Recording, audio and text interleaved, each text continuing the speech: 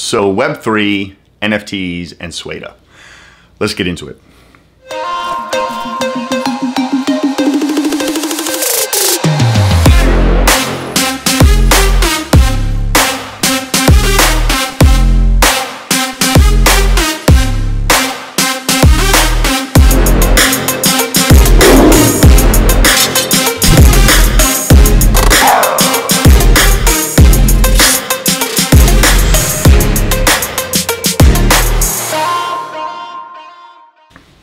What's going on everyone? For those of you who don't know me, my name is Jared Mirabile and I am the owner and the creator behind the brand SWEYDA.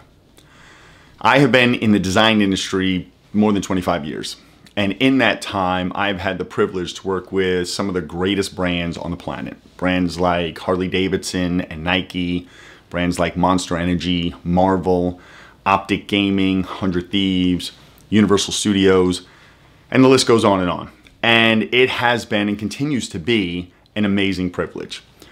When you spend that much time in this industry, you're also introduced and have the privilege to work with some of the most amazing artists. You work with them so closely that eventually they end up becoming your friends. It has been a privilege to not only be introduced to these brands and get to work for them, but to also build and forge relationships with these other highly innovative and highly creative artists. In addition to that, I've also been introduced to amazing manufacturers, building products that are innovative and new. I've had the opportunity to work and collaborate with them to bring some of those products to market. So what does all that mean? Web3, NFTs, and SWEYDA. So I was introduced to NFTs probably a little over two years ago, and I was highly intrigued, but at the same time, I felt like something was missing in that space. If you know anything about me, you know that the quality of art or the products that I produce are going to either be the highest quality and they're going to be innovative, or I just won't put any effort into it. I'd rather not do something unless it was going to be of excellence. And this was going to be no different. If I was going to move into the space, it just couldn't be just the art. It had to be the utility and the team. For me, it was an all or nothing.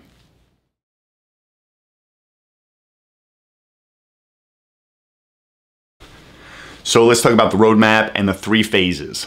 So my phase one is a Genesis drop. It is five distinctly unique drops. Each one has a 20 supply, so it's 100 tokens total. But I just didn't want to do 100 supply. Everything had to be different. The art had to be some of the best art that I've ever produced. And that's what I worked hard on. But then I wanted to marry it with great merchandise. So I thought it was time. It was time for me to leverage the 25 plus years of experience and all of these great manufacturers that I'd come into contact with to develop products uniquely different to bring into the market. Great tangible products for each one of the drops. But I didn't want to stop there. I wanted to make sure the art, the tangible goods were great, but the utility, and I'll speak more on the utility in phase three, but the utility had to be for me, those 100 tokens, anybody who grabbed one of those tokens, it had to be great for life. Everything we did in the future, I wanted that person, that individual, to continue to benefit and benefit and benefit. Okay, so phase two, that's my generative drop, and that's called We Are Tigers. Tigers for the SWEYDA brand have always been a hallmark. It has always communicated my vision, passion, quality, power. I wanted to take that same aesthetic that I've had in my brand and in the design industry, and I wanted to move that into NFTs. As I looked into the industry and I saw all these generative drops, the first thing that struck me was after about a hundred, they all started to look boring. They all started to look the same they all started to look like somebody gave up. And like I said, if I was going to do this, that was not going to happen. So I labored and labored. I did as many traits and as many design elements as I possibly could to ensure that each one of them, they had to look different. They had to be strong and independent, but they also had to be cohesive to the whole. That's phase two. Phase three. Phase three is by far the most exciting. Phase three is where I get to take that 25 years of working in this industry and the hundreds upon hundreds of artists that I've had the privilege to work with and onboard them. What would it look like if I took all of those relationships, some of the most innovative and talented artists on the planet in the design industry, and introduced them to Web3 and NFTs? What would it look like if I brought them in? And not just the artists. What would it look like if I brought the companies that I've had the opportunity to work with? See, in my position, you get to work with some of the decision makers in these larger brands. What would it look like if I just not only brought the artists, but the brands into the Web3 and NFT space? Okay, so this is how phase one, phase two, and phase three are all linked. So anybody who holds one of the tokens, one of the drops from phase one, the first thing they get is three free from my phase two immediately they get three free airdropped NFTs of the We Are Tigers.